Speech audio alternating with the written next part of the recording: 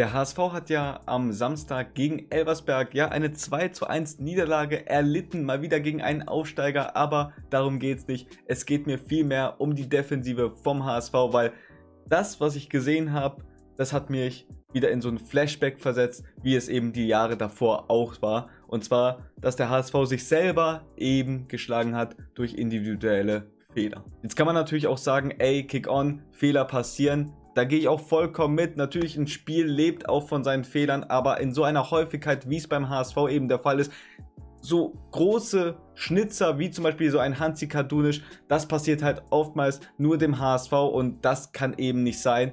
Diese individuellen Fehler, die, die vermassen uns jedes Mal wirklich auch den Aufstieg und darum geht es mir einfach, dass die Jungs nicht richtig wach sind oder ich weiß auch nicht, wie sie eben immer wieder diese ja, Fehler konstruieren. Hätten wir nicht so einen Daniel Heuer Fernandes hinten drin, der uns oftmals noch die Dinger rettet, oder so viel Glück, dass der Gegner keinen so richtigen Stoßstürmer da vorne drin hat, ey, wir, wir, wir, wir hätten keine Chance. Solche Fehler werden in der Bundesliga so hart bestraft. Darmstadt kann ein Lied davon singen.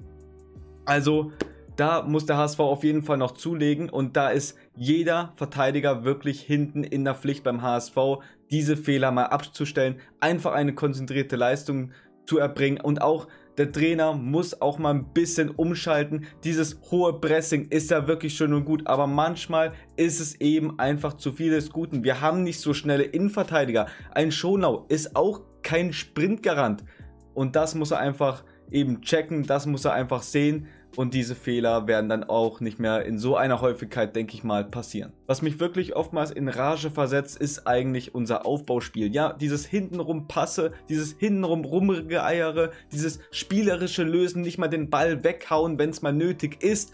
Ja, immer zwingend diesen Pass suchen.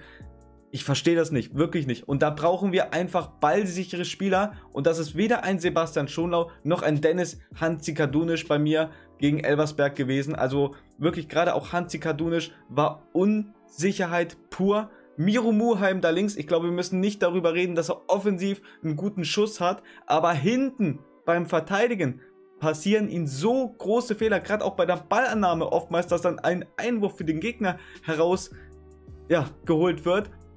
Das kann man einfach nicht mehr entschuldigen. Und Van der Bremt, wirklich, der Typ ist unglaublich geil. Ich bin ein Riesenfan von ihm. Er, er sucht auch immer wieder diese offensiven Laufwege. Auch hintenrum ist er sehr, sehr gut. Er ist eigentlich unser einziger schneller Verteidiger da hinten.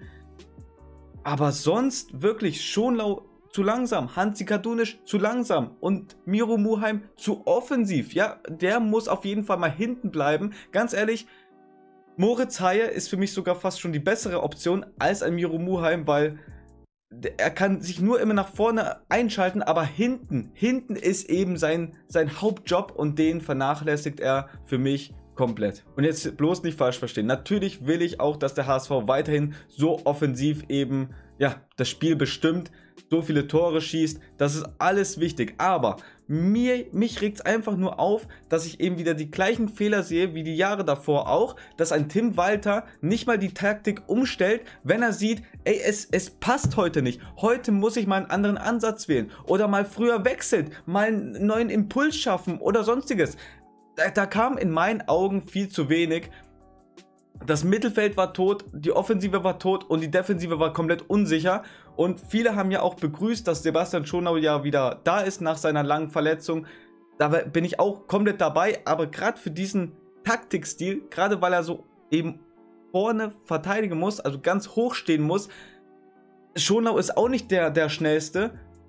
Und ich fand ihn auch nicht gerade sicher und souverän gegen Elversberg. Also ganz ehrlich, der HSV hat mir am meisten gefallen, damals noch, wo eben Hansi Kadunisch noch nicht da war und eben schon noch verletzt war und Ambrosius und Ramos eben zusammen in der Innenverteidigung standen. Klar, das war mehr Spektakel, aber das hat sich viel ja, belebender angefühlt, dieses HSV-Spiel, als jetzt. Jetzt wirkt es wieder ein bisschen statischer, jetzt irgendwie merkt der Gegner viel mehr, was wir vorhaben, als davor. Das ist nur meine Wahrnehmung, aber ich finde irgendwie auch ein Scholau verlangsamt er das HSV-Spiel, da will er irgendwie das Spiel bestimmen. Ist so eine Art Spielmacher eben in meinen Augen sogar.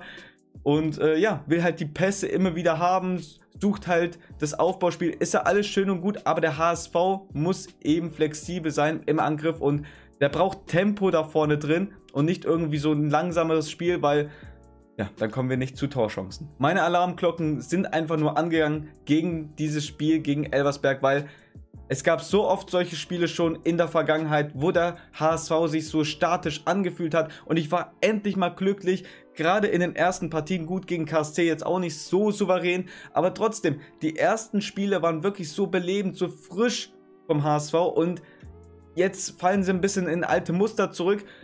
Das müssen wir auf jeden Fall ändern. Wir müssen die individuellen Fehler endlich mal abstellen. Natürlich Fehler passieren, aber nicht in so einer Größe und in nicht so einer Häufigkeit.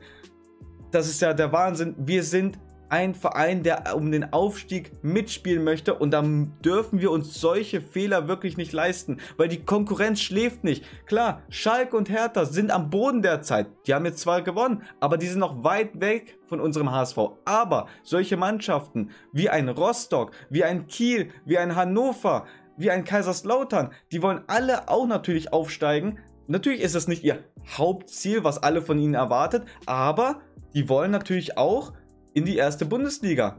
Und der HSV muss jetzt endlich mal kapieren, dass die wirklich jedes Spiel hellwach bestreiten müssen.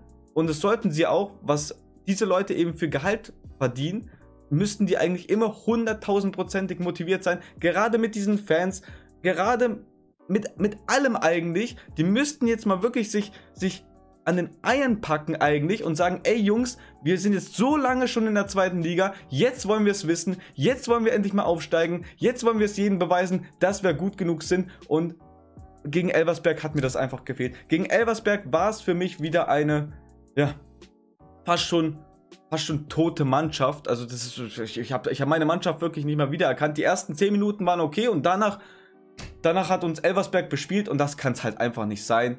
Aber wie gesagt, das ist nur meine Meinung dazu. Schreibt es gerne in die Kommentare, wie ihr es erlebt habt, ob ich eben auch richtig liege oder falsch liege. Schreibt es gerne in die Kommentare, gebt dem Video gerne ein Like und ein Abo. Und ich weiß natürlich, das war ein Fehler, ein Ausrutscher, aber den gab es in der Häufigkeit schon Genüge. Deswegen, ja, dieses Video. Wir sehen uns im nächsten. Ciao, ciao.